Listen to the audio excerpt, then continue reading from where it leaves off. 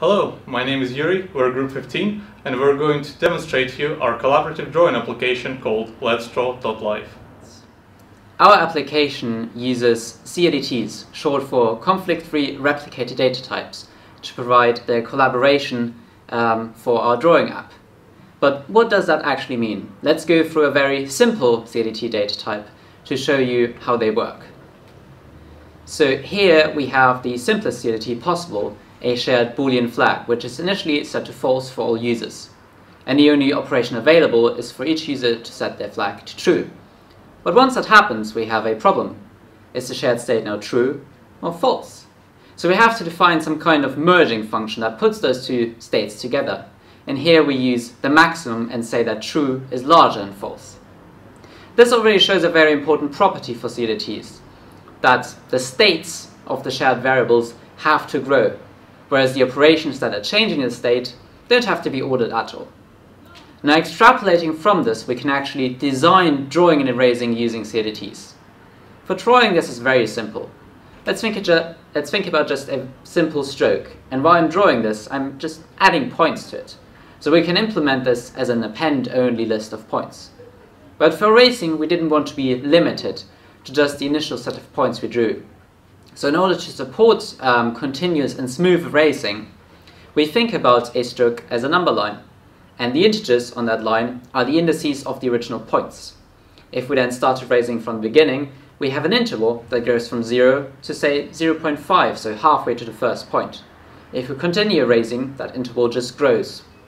If we erase a little bit from the other end, we just add a separate interval. And finally, once we've erased the entire stroke, all those intervals collapse into just one huge um, interval that covers the entire stroke.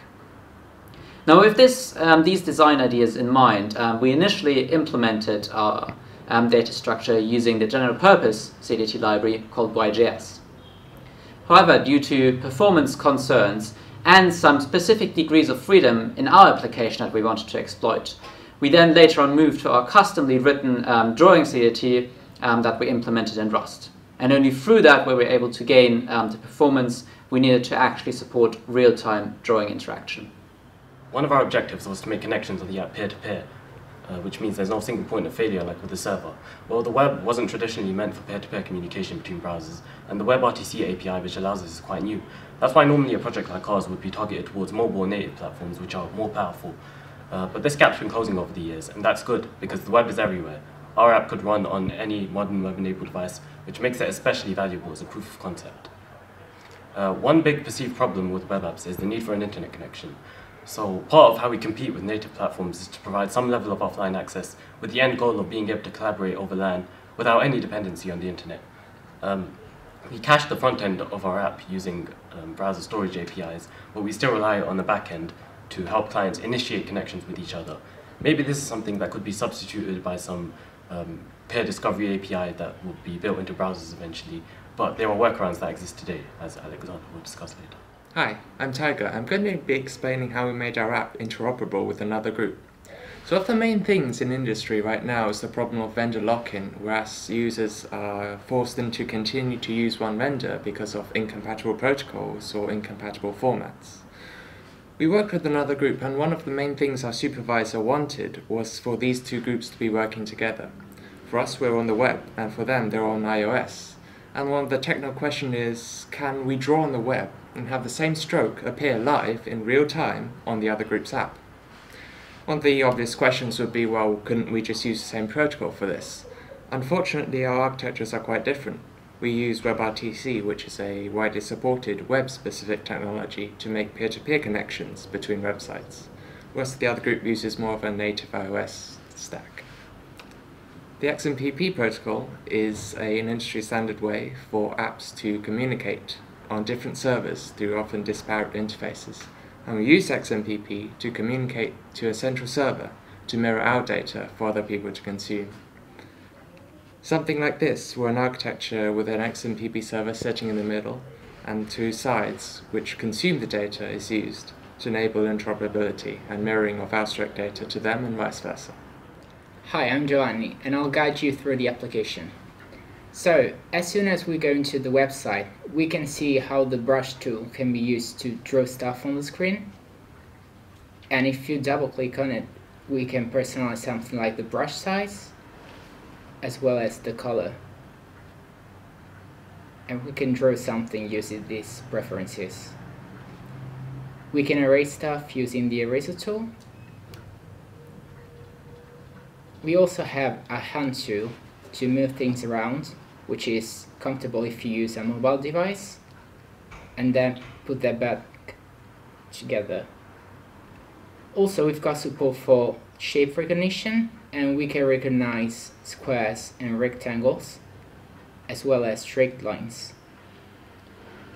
If we draw a very long line, we can see how the shape recognition algorithm works, and we can see a preview of a straight gray line here that will turn this curved line into a straight line as soon as you release the mouse. Also, if you're not happy with our shape recognition system, we can roll back using the undo tool and you can go back point by point or erase entire shapes. Now let's see what happens if we join a crowded room. Let's go into presentation. We can see someone has already drawn something and if we go up here on the top left corner we can see someone is in the room already and we can see how we can draw stuff at the same time together and erase stuff so we've got support for both drawing and erasing at the same time. Hi, I'm Alexander. Thank you for watching so far. I'm just going to go over what the future possibilities we thought of with Let's Draw Live are. First of all, we'd like to make Let's Draw Live work fully offline without any connection to the internet required at all. Um, this could be through user-friendly connection mechanisms like QR codes or even Bluetooth. Um, and then moving on from that, we also want to make um, the connection process to rooms and the privacy considerations for users much clearer. So adding passwords to rooms, for example, or other ways of making users able to control who they connect to and what they share. Uh, thank you for watching again.